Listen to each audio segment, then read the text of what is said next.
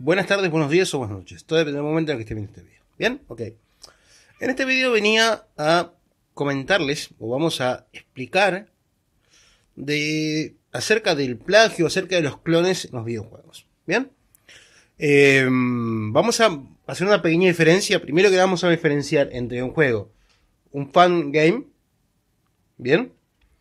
Y un juego clónico, ¿bien? Y después, para, para explicar lo que es un juego clónico, tenemos que explicar básicamente cuáles son los elementos objetivos que tenemos en un videojuego para poder decir si este juego es un clon o no de otro. ¿Bien? Esto viene a, cuenta de que una persona aquí, eh, un, eh, una persona DLM en el comentario me decía, ¿no jugaste a Super Smash TV? Pues este es básicamente un clon de ese juego. ¿Bien? Eso se refiere a Xenocrisis básicamente. ¿Bien? Por lo tanto, primero que nada vamos a, para, para entender esto, vamos a, vamos a tomar una norma básica de referencia de elementos objetivos. ¿Bien? Elementos objetivos de cómo está conformado básicamente un videojuego. ¿Bien? De forma muy resumida, porque realmente es mucho más complejo, un eh, juego tiene tres componentes. Uno es el, componente artístico, los elementos artísticos. El siguiente es, son las mecánicas de juego. Y la tercera es la historia. O en este caso, el detonante para que esa historia o para que este juego funcione. ¿Bien? Muchas veces en algunos juegos tenés una historia compleja donde tienes un... y otro simplemente es un detonante. ¿Bien? Pero bueno, esos tres los tres componentes. Expliquemos lo primero. El apartado artístico. El apartado artístico tenemos que tener en cuenta la estética, ¿bien? O sea, lo que es el sprite de los personajes como tal, ¿bien? El sprite o, o cómo se ve el personaje, ¿bien? Eh, el tamaño, las formas, eh, el, HUD, en este caso, la, interfase gráfica, el UI, la interfase de, juego, ¿bien? Y el apartado sonoro, ¿bien? Ahí eso es la parte artística, en principio. Y también tendríamos que tener en cuenta la paleta de colores que se utilizó y en este caso eh, el entorno, ¿bien? O sea, en este caso el, nivel como tal, la estética que, que utiliza, ¿bien? Eso sería el primer componente que es el elemento estético. El siguiente componente que tenemos que tener en cuenta es la parte de jugabilidad. Y aquí es donde mucha gente se confunde. Las mecánicas, mm, o sea, el detalle que pasa es que las mecánicas de juego en los últimos 20 años no han evolucionado demasiado tampoco. ¿Bien? Yo puedo decir que a día de hoy puedo decir, que un juego donde hay una mecánica de shooter, esa mecánica es lo mismo que teníamos hace 20 años que es un shoot up es un juego de disparos, básicamente. Bien, es una mecánica. El disparo es un tipo de mecánica. Bien, entonces en un juego nosotros tenemos que tener, en, esta parte mecánica vamos a tener que ver, primero que nada, el tipo de cámara. Bien, porque la, la cámara afecta a la jugabilidad. Bien. También en parte afecta también a la primera parte, bien los gráficos, pero mayormente afecta a la jugabilidad. Nosotros tenemos, no es lo mismo que nosotros tengamos un personaje visto en perspectiva, bien, que sería un juego en 3D, ¿bien? Que tengamos un, un juego visto, un personaje visto desde arriba, ¿bien? Que puede ser un juego 2D, o que lo tengamos en side scroll, ¿bien? Si lo tenemos visto de arriba sería top down. Si lo estamos viendo el personaje de costado, ¿bien? Estamos viendo de perfil, eso es un juego top down, ¿bien? Todo cambia, todo afecta, ¿bien? En un juego, digamos de esta forma, las mecánicas, por ejemplo, digamos que un juego de plataforma, por lo general los juegos de plataforma tienen muchos, eh, muchas mecánicas comunes, ¿bien? Digamos de esta forma. Pongamos un ejemplo simple. Eh, em, Super Mario. Super Mario es un juego de plataformas, ¿bien? Y Castlevania también es un... Castlevania, si bien no, no, llega, no es 100%, utiliza elementos de, utiliza elementos de, em, de plataformas también. ¿Bien? En el caso, ambos tenemos la misma, estamos hablando de juegos que tienen la misma perspectiva. Bien, en ambos casos, los dos juegos, tanto Castlevania como Super Mario, están vistos de formato side-scroll. Bien, ¿qué significa side-scroll? Que el desplazamiento es en formato horizontal y se salta hacia el eje vertical. Bien, o sea que te desplazas en X y saltas en Y. Bien. Pero tú no vas a ver, por ejemplo, en un juego top-down, tú tendrías el desplazamiento tanto en X como en Y. O sea, tanto en X como en Y. Eso sería diferencia. Que tenés básicamente un movimiento mm, en dos dimensiones. O sea, te mueves. No tenés salto, básicamente. En un juego top-down, donde, donde en 2D prácticamente estaría saltando hacia, si vamos al caso, estaría saltando hacia la Z, si vamos al caso, en este caso. Pero por lo general, en un juego top-down no tenés salto. Bien, te desplazas en el eje Z o en el eje, y en el, eh, perdón, en el eje X y en el eje Y. En cambio, yo digo, en un juego de tipo, mm, de, en un juego en perspectiva, en, un juego side scroll, tú estás desplazando, el personaje se desplaza en el eje X y salta en el eje Y. ¿Bien? Ahora, eh, ya digo, detalles también serían las mecánicas. Bien. Las mecánicas jugables, digamos acaso, el disparo es, un tipo de mecánica, eh, los, ataques melee son otro tipo de mecánicas. Bien, el detalle es que muchos, muchos juegos, si nos ponemos a realmente, si nos ponemos quilloso, hay muchos juegos que utilizan las mismas mecánicas. Bien, o que utilizan mecánicas comunes.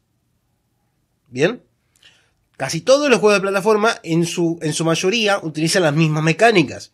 Lo que modifica es, lo que se modifica en un juego de, plataformas por lo general es la estética, la historia y se agregan o se le da una vuelta de tuerca a ciertas mecánicas. ¿Bien? Yo puedo, digamos de esta forma, yo puedo en un juego como Super Mario, puedo saltar, colisionar con una, con una caja y que esa caja largue un componente en este caso que le una moneda. Yo puedo hacer una, vuelta de tuerca a esa mecánica, bien, haciendo que en vez de cuando yo salto y colisiono con ese, objeto, en vez de que me largue un objeto, que haga otra cosa. Bien, pero la mecánica sigue siendo la misma. Bien, que eso es, por ejemplo, lo que hace en Super Mario también. Si vamos al caso, el hecho de saltar sobre un, sobre un enemigo y matarlo, básicamente, destruirlo, es una vuelta de tuerca al mismo, la misma mecánica que teníamos antes, que es, lo mismo. Cuando yo colisiono con un objeto, ¿bien?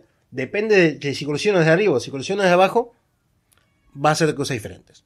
¿Bien? O yo voy a chocar con una, un, con un bloque y sacar una moneda, o puedo chocar con ese bloque y, capaz que con ese, al colisionar con ese bloque, yo estoy abriendo una puerta. Usando la misma mecánica, estoy utilizando la misma lógica de programación, pero la estoy utilizando para diferentes cosas. Una, para una es para obtener una puntuación y la otra forma es para abrir una puerta. Funciona como llave. ¿Bien? Entonces, lo que nosotros tenemos que, tener en cuenta al momento de, considerar las mecánicas es que las mecánicas, em, sabiendo que las mecánicas básicamente en los videojuegos ya están prácticamente todas inventadas, o la mayoría, o sea, la mayoría de veces son, ya digo, Cualquier, poneme cualquier juego. Si tú me das cualquier juego mm, actual o de hace un par de años, te puedo, yo te puedo asegurar que yo te puedo explicar con un juego de los 80 o de los 90 cómo funciona esa mecánica. Porque lo único que hicieron es, fue agarrar una mecánica que ya existía y adaptarla a un videojuego. Esa también es parte de la creatividad de las mecánicas también. ¿Bien? Ok. Y el tercer elemento sería la parte historia. En este caso, la historia es, en este caso, la, un juego, si vamos al caso, es la interacción de los personajes em, y por qué están haciendo, digamos de forma, forma resumida, por qué están haciendo eso. ¿Bien?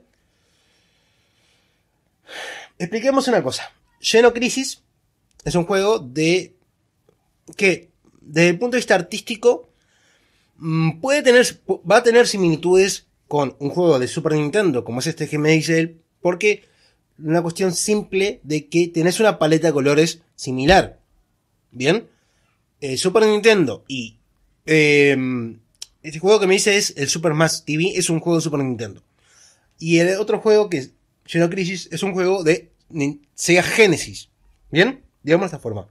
Si bien uno es de los 90, uno se hizo en los 90 y otro se hizo hace un, año o dos, ¿bien? Estamos lo mismo, estamos utilizando, tiene, tiene la limitante, en este caso, por más que se haya hecho en 2018, 2019, tenés la limitante de que estás utilizando un estás haciendo el juego para una consola de los 90. Por lo tanto, la paleta de colores y el apartado artístico no te vas a poder, mm, vas a tener unos ciertos límites. ¿Bien? Em, en lo que tiene que ver el punto de vista artístico, los dos juegos, ambos tienen, em, ambos tienen una paleta, una tendencia hacia el gris, bien, y ciertos tonos de verde, bien.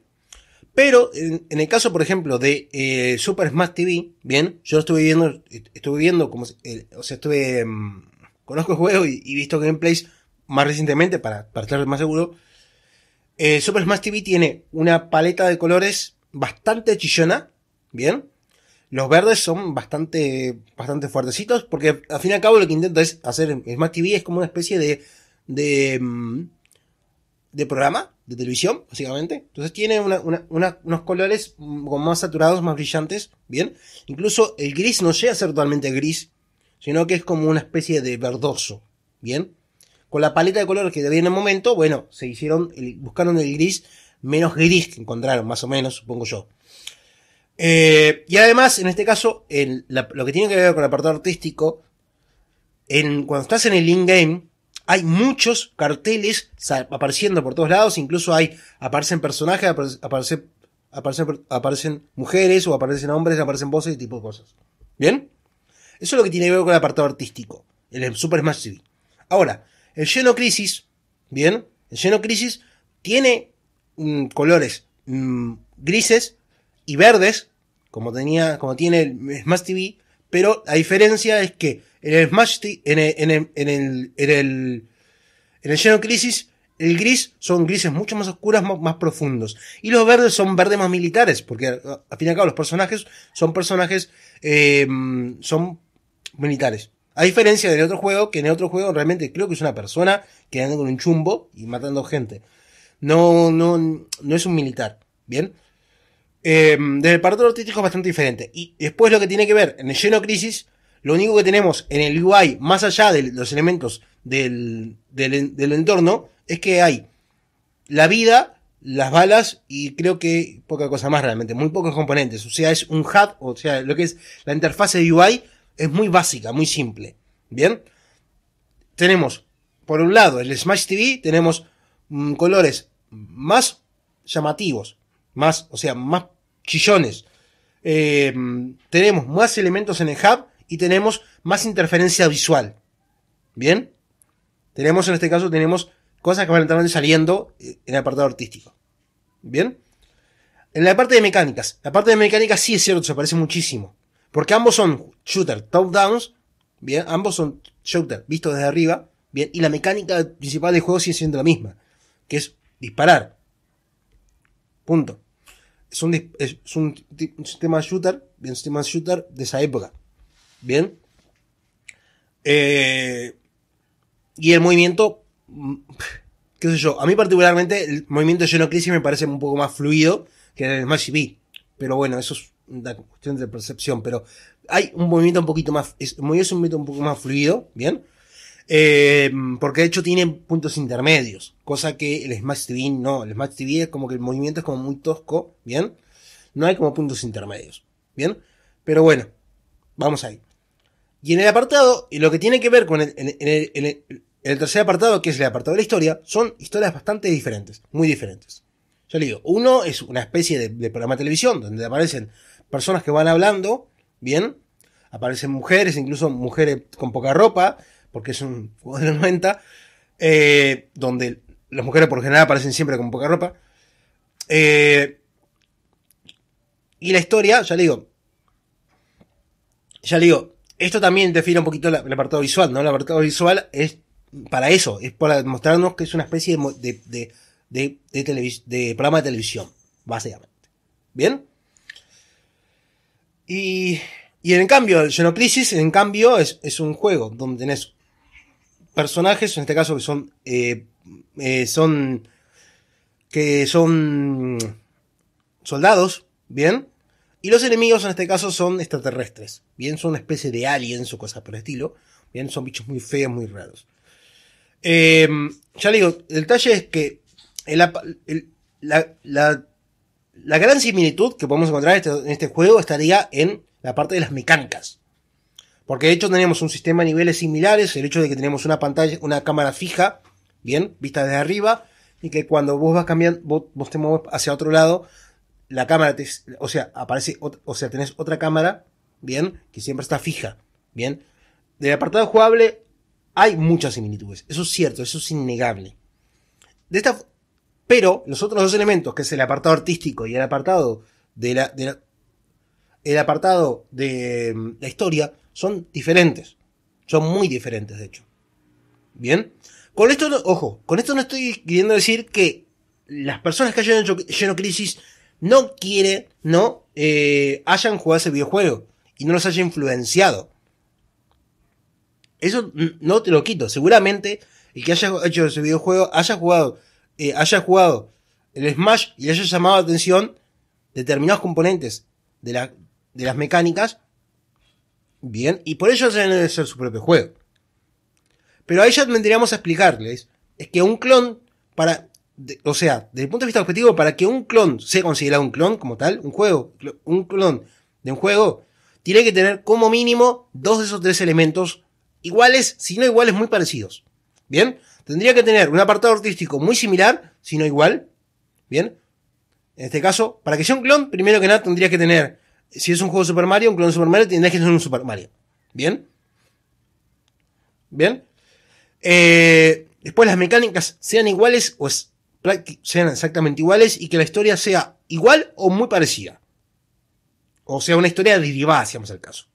Bien. Y el detalle es que ahí podríamos decir que mm, en el caso, por ejemplo, de que yo agarrara y modificara algunos elementos de la primera parte, del elemento artístico, por ejemplo, es que conservar la misma estética, pero en vez de utilizar, eh, en vez de utilizar a Super Mario otro personaje, bien, ahí podría decir que es un clon también, pero bueno, es un clon que no es un, no es un fangame, bien, porque tenemos que definir que un fangame básicamente es eso, es un juego. Yo hago un juego con un personaje que ya existe y dentro del mismo mundo, del mismo universo, con una historia similar y con las mecánicas muy, muy similares también. Eso sería un fangame. Ahora, nosotros normalmente llamamos un clon, un juego tipo clon, es un juego que modifica, de estos tres elementos principales que yo les mostré, modifica uno solo, que sería el apartado gráfico. Y tampoco lo, lo, lo hace de, de muy buena manera tampoco. Bien. Por lo general, los clones de, Super Mario, por ejemplo, son juegos que tienen las, utilizan las mismas mecánicas exactamente iguales a las de Super Mario. La historia es muy parecida. O directamente no tiene historia. Y lo único, el único elemento que cambian es el elemento artístico, bien, que es que en vez de poner a Mario, ponen a otro personaje. Pero incluso muchas veces utilizan el mismo estilo artístico.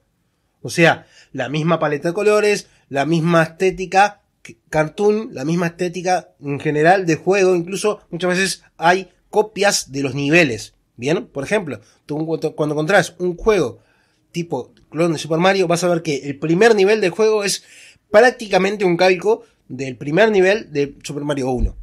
Que es que vos tenés, vas, vas- caminás, tenés un enemigo, tenés tres bloques y uno de esos tres bloques te da un power up. A ese punto se lleva muchas veces el hecho de clonar un juego. Yo tengo muchos juegos de ese tipo, por ejemplo. A mí me gusta mucho ese tipo de juegos. Eh, ¿Por qué? Porque es un juego que yo ya conozco, más o menos. Entonces, quiero otro, básicamente. Pero el detalle es que hay muchos juegos de ese tipo. Que vos mirás el primer nivel, el primer nivel de ese juego es muy, es prácticamente un calco y es eh, prácticamente igual al Super Mario 1. Bien, o al Mario 1. Bien, al Super Mario 1, perdón. Sí, Super Mario 1. ¿no? De, de, de, de la. Bien. Eso sí sería un clon. Eso podríamos considerar un clon, porque realmente no hay. Lo único que hicieron para que no se considerara un fangame, o para que poder monetizarlo, o, sea, para poder venderlo, bien, es modificar algunos elementos artísticos, pero muy básicos realmente. Bien.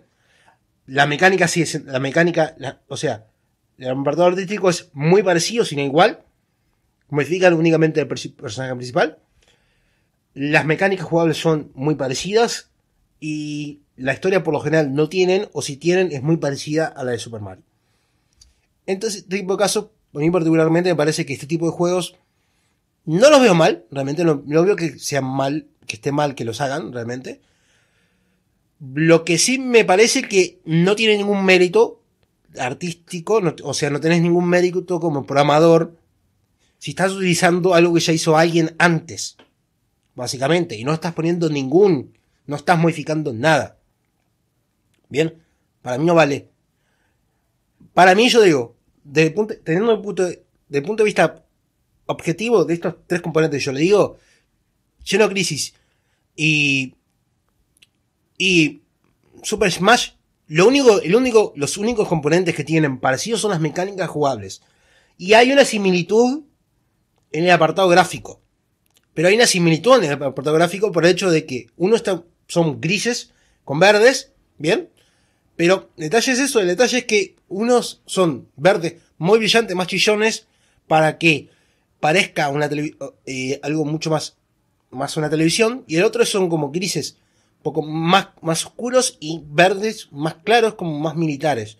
Y ya le digo, el detalle es que, el punto de vista artístico, el punto de vista artístico, uno tenés una, una, una pantalla con muchos elementos en pantalla, incluso que van apareciendo cosas y saliendo, como sería Super Smash, Super Smash TV, y en el otro tenés una, una, interfase mucho más limpia, donde tenés pocos elementos y no hay tanta, no hay tanta saturación de elementos.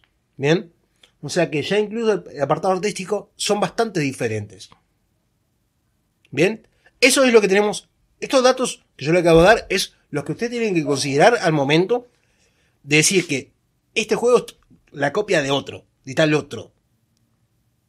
Si dos de estos elementos que yo le nombré, dos de estos tres elementos, o los tres elementos, son iguales o muy parecidos, ahí sí podríamos hablar de un clon.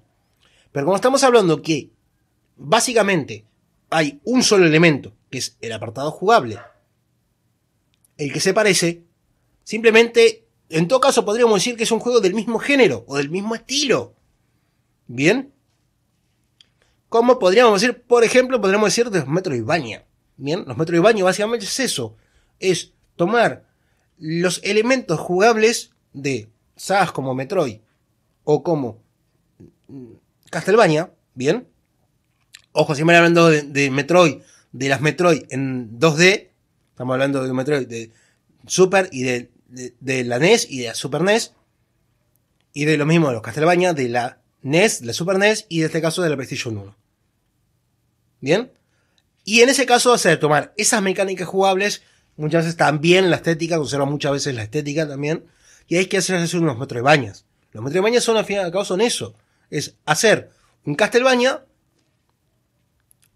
de forma jugable, es un Castlevania, bien, las mecánicas de juego son un Castlevania, pero tenés un apartado artístico diferente y tenés una historia diferente.